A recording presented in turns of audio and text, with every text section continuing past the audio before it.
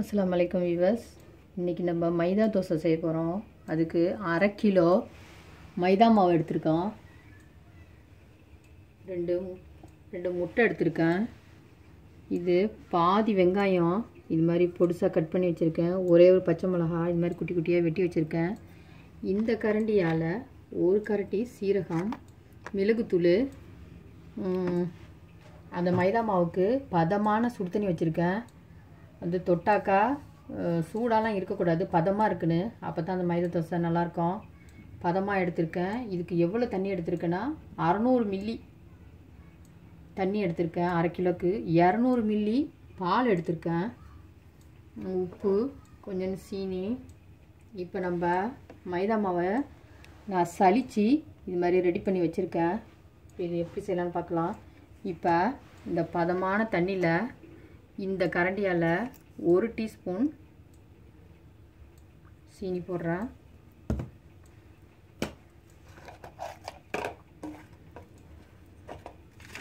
இந்த கரண்டியால் இந்த குட்டி கரண்டியால் ஒன்றே ஒரே ஒரு டீஸ்பூன் இந்த நம்ம ஈஸ்ட்டு அது போடுறோம். இது பேக்கிங் சோடா அது வந்து ஒரு கரண்டி தான் போடுறோம் இப்போ நம்ம மிக்ஸ் பண்ணலாம்.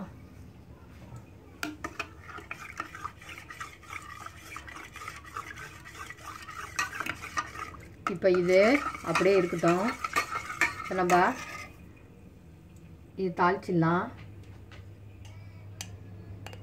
ஆயிலும் நெய்யும் இது மாதிரி பட்டரும் ஆயிலும் இது மாதிரி கலந்து ரெடி பண்ணி வச்சுருக்கேன். அது ஒரே ஒரு ஒரு டீஸ்பூன் போடுறேன். அதில் இந்த சீரகம்.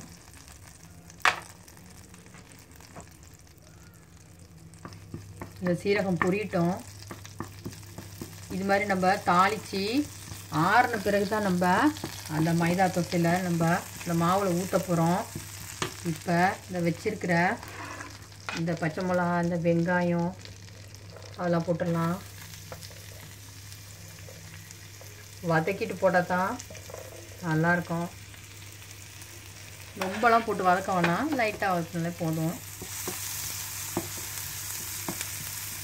இப்போ இது வதங்குறதுக்கு நம்ம உப்பு போட்டுடலாம்.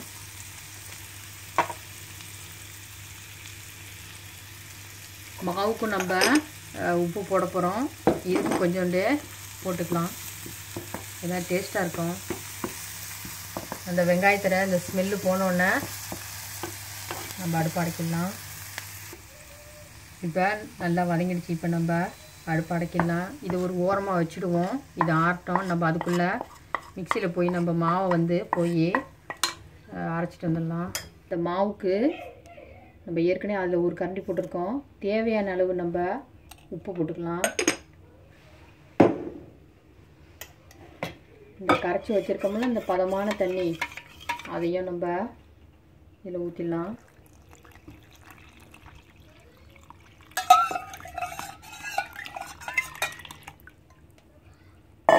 இந்த இரநூறு மில்லி இந்த பால்.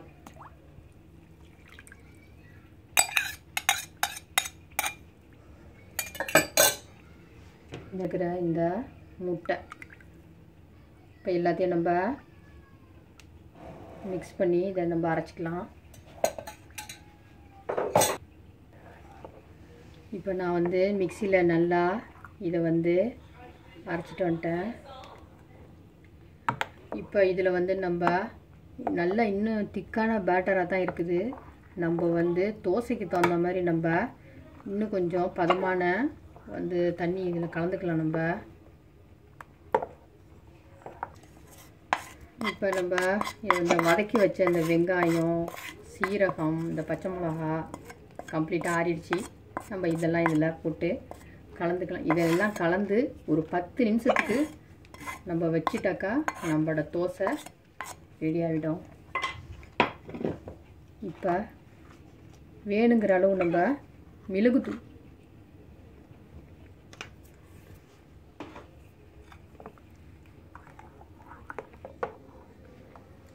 நான் வந்து இந்த மாவை வந்து மேங்குண்டு நூறு மில்லி தண்ணி மேங்குண்டு ஊற்றிருக்கிறேன் அப்போ தான் வந்து நம்ம தோசை ஊற்றுறதுக்கு கரெக்டான பதம்.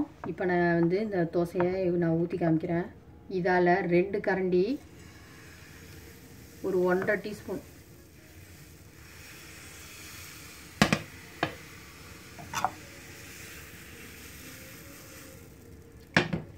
இப்போ நம்ம ஆயில் போட்டுக்கலாம். வேணுங்கிற அளவு நம்ம ஆயில் போட்டுக்கலாம். மைதா தோசை வந்து வந்து மெல்லிசாந்த தான் கொஞ்சம் நல்லாக்கும் இது கரெக்டான இது பதம். கொஞ்சம் ஆயில் மட்டும் கொஞ்சம் கூடுதலாக போட்டுங்க.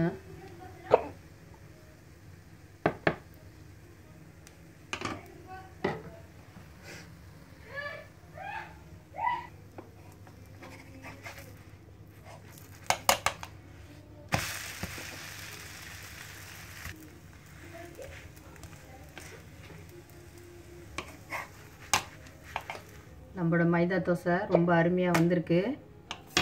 இப்போ நம்ம வந்து இதை சேவ் பண்ணலாம். இந்த மைதா தோசை ரொம்ப அருமையாக வந்திருக்குது. இந்த மாவை வந்து நான் செஞ்ச மாதிரியே நீங்கள் வந்து ஒரு பதினஞ்சு நிமிஷத்துக்கு அதுக்கு ரெஸ்ட்டு கொடுக்கணும். அப்போ தான் மைதா தோசை நல்லாயிருக்கும். இதேமாரி நீங்களும் நான் வந்து சாம்பார் வச்சுருக்கேன். தக்காளி சட்னி. இது ரெண்டும் வச்சு நம்ம சாப்பிட போகிறோம் இதேமாரி நீங்களும் ட்ரை பண்ணி பாருங்கள் இந்த வீடியோ பிடிச்சிருந்தா லைக் பண்ணுங்கள் ஷேர் பண்ணுங்கள் சப்ஸ்கிரைப் பண்ணுங்கள் இன்ஷா அஸ்லாம் வலைக்கம் தேங்க்யூ ஃபார் வாட்சிங்